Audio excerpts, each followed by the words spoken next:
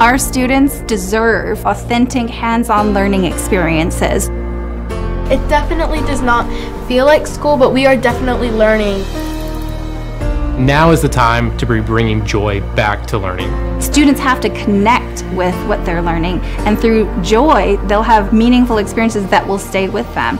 I love playing with Legos, I love coding, so when you get to put those together, it's literally a dream come true.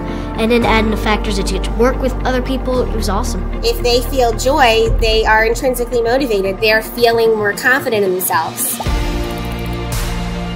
Lego has a mission to transform the way kids learn. This is something that I've always wanted to put in the hands of our students. When it comes to computer science, the coolest thing is to see the multiple ways that someone can solve a problem.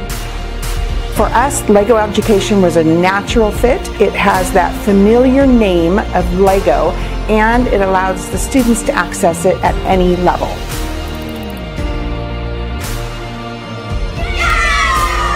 Can't put into words how appreciative I am that I got to do this with them. STEAM belongs everywhere in the school day, out of the school day, at home. I think every school should do it. It's a great way to learn, it's a great way to have fun, it's a win win.